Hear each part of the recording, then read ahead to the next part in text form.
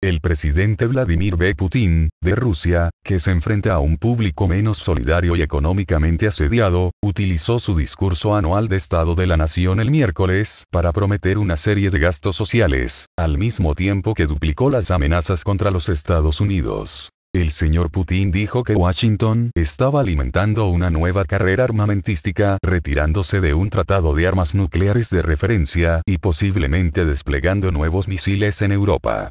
Sin mencionar ningún país en particular, advirtió que si se desplegaron misiles estadounidenses en el continente, a pocos minutos de vuelo de su país, Rusia apuntaría sus armas a esos misiles y a objetivos en los Estados Unidos. Rusia se verá obligada a crear y desplegar nuevos tipos de armas que podrían utilizarse no solo contra los territorios donde una amenaza directa proviene de nosotros, sino también contra los territorios donde los centros de toma de decisiones que dirigen el uso de sistemas de misiles amenazándonos donde estamos ubicados, dijo.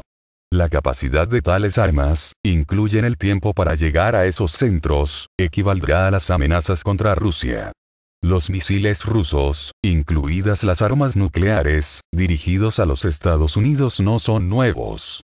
Ni tampoco el señor Putin, que dedicó gran parte de su discurso el año pasado a lo que afirmaba que eran armas nuevas muy avanzadas. Pero el miércoles, en medio de un constante deterioro en las relaciones con Washington, hizo algunas de sus amenazas más explícitas que jamás haya hecho. Siguieron el anuncio de este mes que el presidente Trump estaba retirando a los Estados Unidos del Tratado de 1987 de las fuerzas nucleares de rango intermedio, después de años de acusaciones, rechazadas por Moscú, de que Rusia había violado el pacto. Rusia desarrollará y desplegará cualquier sistema de armamento que sea necesario para mantenerse seguro, dijo el señor Putin, aunque, como él sabe bien, una costosa carrera armamentística en la década de 1980, combinada con el hundimiento de los precios del petróleo, contribuyó al colapso de la Unión Soviética. Su tono agresivo parecía estar destinado, en parte, a convencer a Washington de que no abandonara el tratado. Entre la clase dominante en los Estados Unidos, dijo, son muchas las personas que están demasiado cautivadas por las ideas de su excepcionalidad y su superioridad sobre todo el resto del mundo. Pero, ¿saben cómo contar? preguntó. Sin duda lo hacen. Permítales calcular primero el rango y la velocidad de nuestros sistemas de armamento avanzados, y luego tomar decisiones sobre las amenazas contra nuestro país. Un grupo de personas de pie frente a una multitud. El presidente Vladimir B. Putin dio su discurso anual en Moscú el miércoles. El señor Putin no criticó al presidente Trump, en lugar de sugerir, como lo ha hecho en el pasado, que un secreto estado profundo cojeaba al presidente estadounidense. En su discurso del año pasado, el señor Putin catalogó una serie de nuevas armas que dijo que Rusia estaba desarrollando, mientras que las animaciones mostraban misiles que atacaban a los Estados Unidos. Este año mencionó solo unos cuantos. Esta primavera, dijo, Rusia lanzará su primer submarino nuclear llevando un Poseidon, un dron nuclear submarino no tripulado, y desplegará un nuevo misil hipersónico de Zircon para la Armada rusa.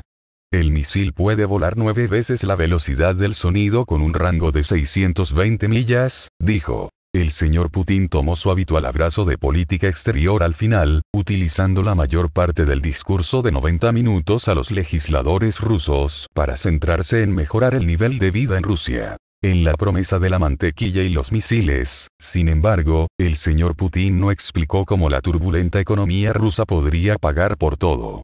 Como siempre con sus direcciones centradas en los asuntos domésticos, hubo una cierta brecha entre lo que Rusia estaba describiendo y la realidad. El señor Putin prometió todo tipo de beneficios públicos adicionales, señalando que tener 19 millones rusos que aún vivían en la pobreza en una nación de unas 145 millones personas era demasiado alto. Gran parte del nuevo gasto social se lanzó hacia las familias con niños pequeños, abordando una disminución de la población que el señor Putin ha intentado anteriormente revertir. El presidente prometió aumentos salariales y de pensiones para decenas de millones de rusos por encima de la tasa de inflación. Mencionó más y mejores clínicas médicas locales, mejor tratamiento oncológico, métodos de recolección de basura más modernos, mayor protección del medio ambiente, más apoyo a las actividades culturales tanto en las ciudades como en las zonas rurales, menor intervención burocrática en actividad económica y mucho, mucho más. Maxime Sierechkin, el ministro de Economía, defendió al presidente, diciendo que el hecho de que había citado tantos números de gasto precisos significaba que los cálculos presupuestarios ya se habían hecho. El gobierno recientemente reveló planes para gastar algunas de sus reservas de oro en proyectos de infraestructura pero también ha levantado las edades de jubilación, y varios impuestos y honorarios, medidas profundamente impopulares que equivalían a una admisión tácita de que su gasto era insostenible.